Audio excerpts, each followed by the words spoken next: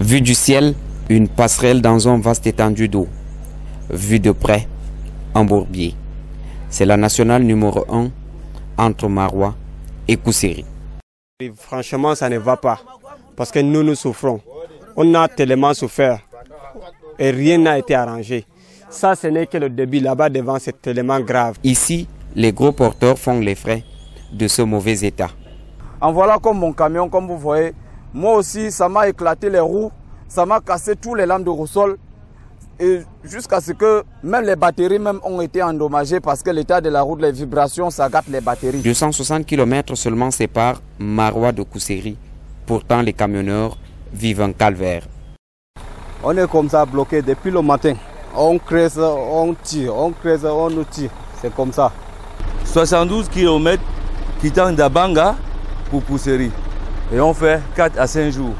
Donc c'est très difficile. Il faut plus de deux semaines pour rallier Kousseri. Pour ces camionneurs, péril sur la rentrée scolaire des enfants.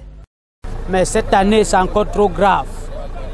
Nous, nous ne connaissons pas comment nous pouvons faire pour payer la scolarité des enfants, plus qu'on fait plus d'un mois en route.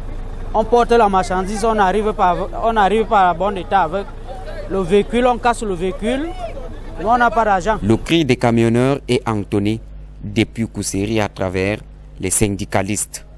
Nous observons des pertes sur la route Kousseri-Marois depuis des décennies. Et nous, on plaide seulement juste à l'état du Cameroun de voir la situation de la route. Si la route a été arrangée, on ne peut pas avoir de problème. Même les voitures de petit calibre n'échappent pas à cette dégradation. Les coûts de transport ont explosé.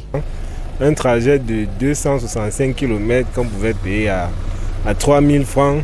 Quand on se retrouve à payer à 15 000 francs, vous comprenez qu'il y a quelque chose qui, ne va pas.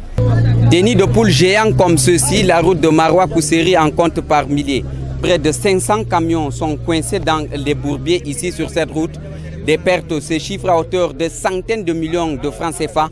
Les camionneurs appellent les pouvoirs publics à l'aide pour venir régler cette situation. Depuis la route de Marois Kousseri, Ousmane Baba, Abakar Ali pour Vision 4 Télévision.